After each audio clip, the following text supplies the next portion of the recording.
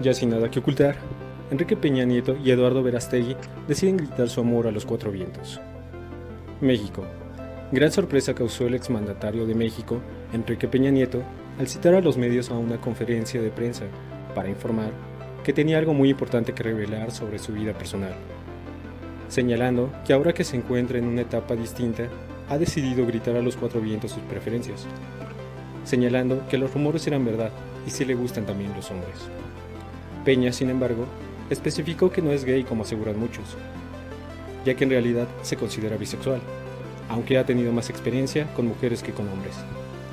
Después de todo lo que vivía en la presidencia, de ver tantas injusticias y tener la fortuna de manejar este país, me pregunté si quería pasar el resto de mi vida escondiéndome y fingiendo ser alguien que no soy, solo por la vergüenza social. A mí ya nada me intimida, recibí mucho cariño, pero también me humillaron de la peor forma, así que ahora no tengo nada que perder. No soy gay como muchos aseguran. Si así fuera, no tendría tres hermosos hijos. Bueno, cuatro. Se me olvidaba el que tuve fuera del matrimonio. En fin, me gustan las mujeres, pero también tengo cierta atracción hacia los varones. No quiero ponerme etiquetas. Yo simplemente me enamoro de la esencia de la gente, sin importarme si son hombres, mujeres o quimeras. Yo me enamoro del alma.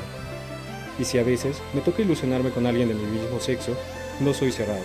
Durante mi sexenio, uno de los rumores más fuertes era que yo andaba con mi íntimo amigo, Eduardo Verastegui, y te puedo asegurar que en ese tiempo las especulaciones eran falsas. Siempre fuimos compadres, pero hoy que ambos estamos solteros, decidimos conocernos de una forma más especial. Repito, no me gusta ponerme etiquetas, pero si quieres que a fuerzas entre en una categoría, entonces soy bisexual, Enrique señala que tiene solo una semana saliendo, en plan de romance con Verastegui, a quien le ha costado más trabajo salir del closet. Él está muy metido en la religión, cree que los gays se van al infierno, pero ¿realmente nos vamos a ir de la tierra quedándonos con las ganas de disfrutar nuestra existencia? Es un proceso duro para ambos, pensé que sería más difícil para mí, pero a él le, le atormentan las culpas. En fin, ya está más tranquilo, sobre todo porque tuvimos la suerte de conocer en persona al Papa Francisco, y él nos dijo que era mentira que Dios castigue a los afeminados. Esto no es nada del otro mundo. Me sorprende que en México en pleno 2019 la homosexualidad sea motivo de burla. La gente se quejaba que yo goberné mal, pero es la misma ciudadanía que con su mente retrograda no permite que el país avance y seamos primer ministro. Estoy seguro que todos se burlarán de mí con esta confesión, y por eso este país jamás saldrá del hoyo, por darle importancia a cosas irrelevantes como la sexualidad, puntualizó.